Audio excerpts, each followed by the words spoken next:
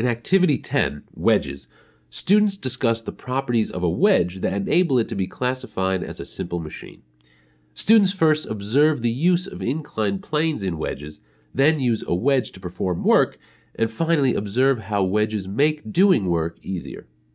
You will need the following materials from the kit Activity Sheet 10, nails, and rivets. You will also need to provide pairs of safety goggles, hammers, metric rulers, pieces of scrap wood, and pictures of boats, airplanes, and race cars.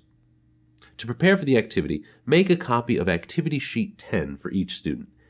Several days before the activity, gather enough hammers and pictures of boats, planes, and race cars so that each team of four has one. Parents may be able to contribute hammers for use in this activity. Make sure to collect scrap pieces of wood for use in this activity. They are often available at construction sites or lumber yards.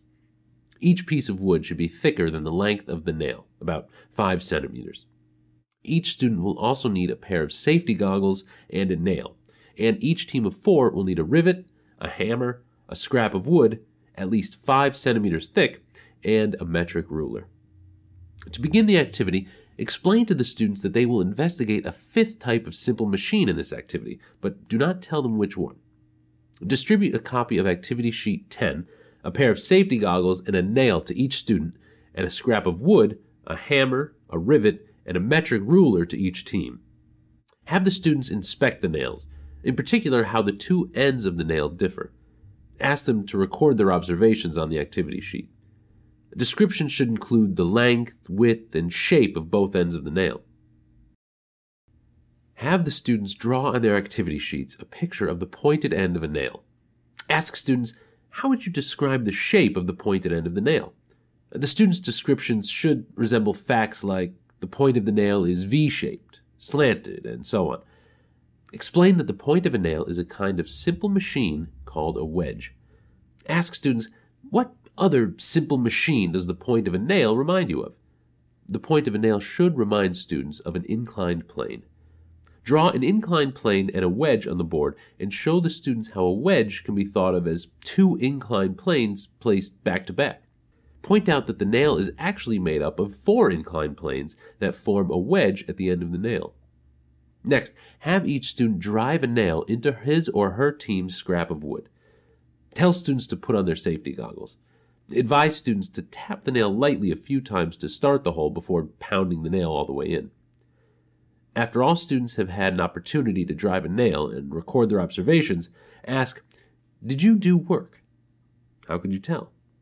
Students should respond that work was done because force was applied and the nail moved a distance. Next, have students try to hammer the rivet into the scrap of wood. Tell students that they should not use excessive force to try to drive the rivet into the wood. After everyone has finished experimenting and recording their observations, ask students which was more difficult to drive into the wood, the nail or the rivet? A student should say that the rivet was more difficult to drive than the nail. Then ask, when you pound a nail into a block of wood, what is the pointed end of the nail causing the wood to do? Explain that the point of the nail acts as a wedge, pushing the wood apart. Next, ask students to recall their work with inclined planes in the previous activity. Specifically, remind them that although an inclined plane allows you to exert less force to move an object, you have to move the object a greater distance to do the same amount of work. Uh, for instance, the longer the inclined plane, the more distance and less force required to move an object. Ask students, how could you modify a nail to make it even easier to drive into the wood? A student should realize that increasing the length of the inclined plane at one end of the nail, which would in effect sharpen the point, would make the nail easier to drive into the wood. Finally, distribute pictures of boats, airplanes, and race cars to the teams. Have the students examine the pictures and record their observations on Activity Sheet 10. Ask students, how are boats, airplanes, and race cars shaped?